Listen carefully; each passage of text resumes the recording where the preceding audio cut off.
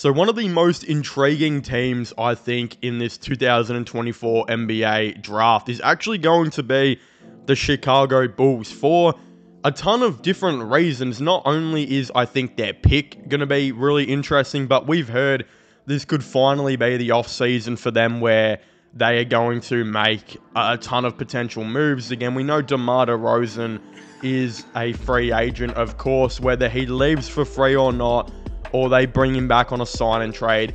We know Patrick Williams, I believe, is a free agent. How much money are they going to have to pay him? Would they, again, consider a sign and trade for that player? We know Zach LaVine trade rumors have been happening for a long time. And of course, I think the most important one that is really cool for the Chicago Bulls to see is that we know Lonzo Ball is hopefully going to return and play from injury next season. So I genuinely believe the Chicago Bulls have a really good opportunity here to maybe put a point guard alongside Lonzo Ball, and that's kind of what I've based this pick off, and uh, at least of uh, again with my research, how what what the positional need I think they need. It also happens that I think the best player available at this pick so far for me is a point guard. Again, if you're wondering why I didn't take a specific player or another player with this pick, I do highly recommend you guys go and check out my official 2024 NBA mock draft, which will be getting linked in the description down below. That way you get to see who I have all the other teams taking and whatnot. And yeah, I guess it just makes it much easier in case you're wondering.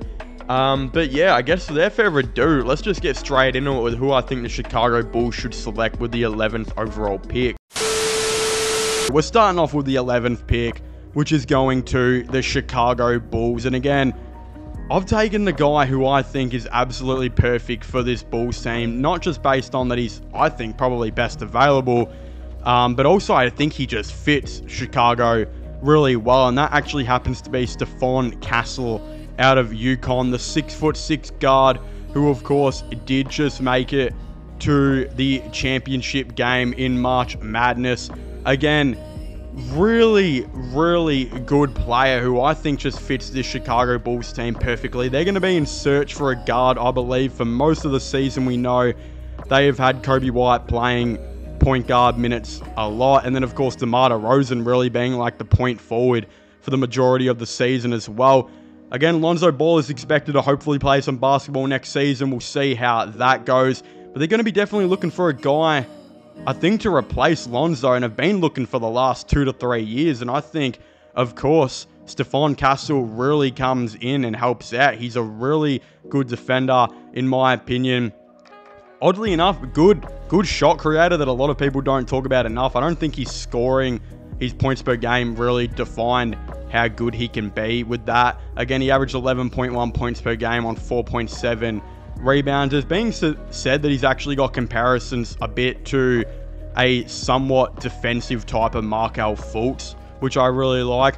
There's actually a, a scout here that said I've gone back and forth in my opinion on Stephon Castle during the draft cycle, but I can finally have come to the conclusion that he's simply too good at too many things to not be highly ranked. He's one of the best defenders in the whole draft he gets to the rim absolutely more than everyone in the draft, not named Isaiah Collier, and he's really come around as a passer and an off ball mover. Again, the concerning thing with Stephon Castle does happen to be shooting, where he is very, very below average. But we know Markelle Fultz has kind of been like that in, in his NBA career, um, unfortunately, which kind of sucks because he was known for his shot creation before he came into the draft. But he's been known as a guy who can play some decent defense, but can play make, can ball handle, but can also just be a good scorer with getting to the rim. And that's why I think that I really like that comparison of Castle to Markelle Fultz. The difference is with the Chicago Bulls is though, is that the Bulls have a ton of scoring. In fact, they probably have some of the best scorers low key in the NBA. They've of course got Zach LaVine, Coby White, and DeMar DeRozan all there, and Nikola Vucevic as another option if you need some scoring as well. I think they just need a guy to come in and ball handle, play make, and defend. And if they just said to Castle and they were just like, look, that's all we need you to do. You don't need to come in and, again, be a good shooter or be a good scorer straight away because we've already got a ton of that. We just need you to come in and play some defense and, uh, uh again, Uh, be, be a good playmaker and floor general, just how Lonzo Ball was.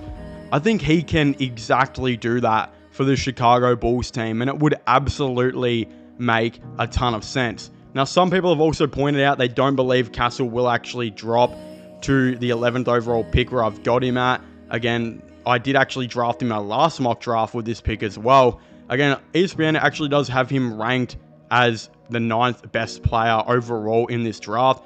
You know, I think he's really, really good with a ton of upside. And I, I said this um, in the last video, right?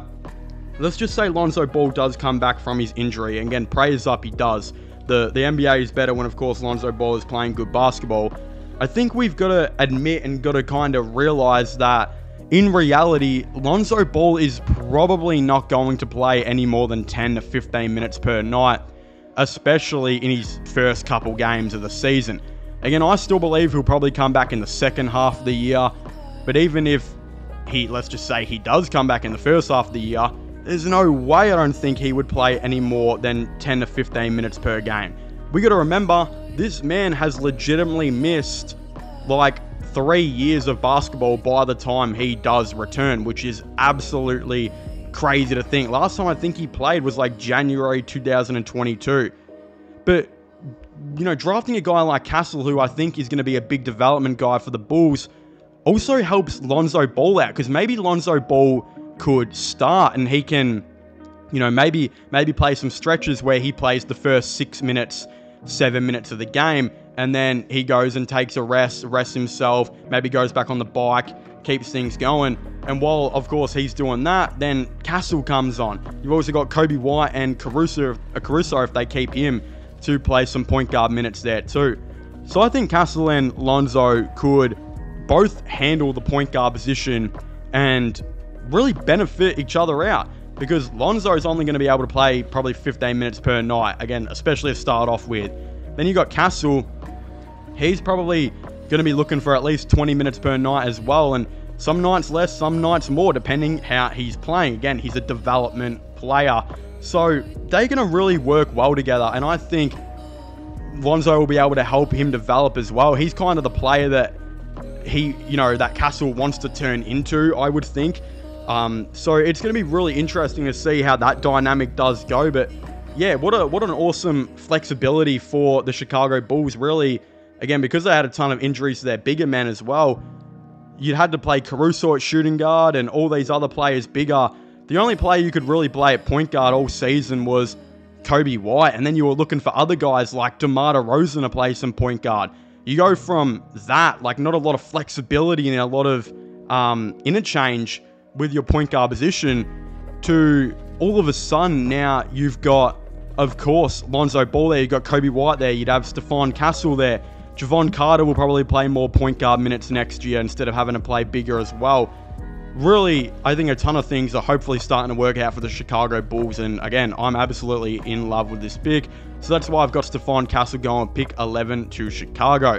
But of course, I'd very much like to hear all of your thoughts and opinions on this down below. What do you guys think of my official 2024 NBA mock draft? Did you guys like it? Did you agree with all my picks or did you not? I'd like to hear what you guys have to say in the comment section down below. Again, subscribe to the channel for less NBA content, NBA news. Also, don't forget to go and check out my gaming channel, my IRL slash vlogging channel.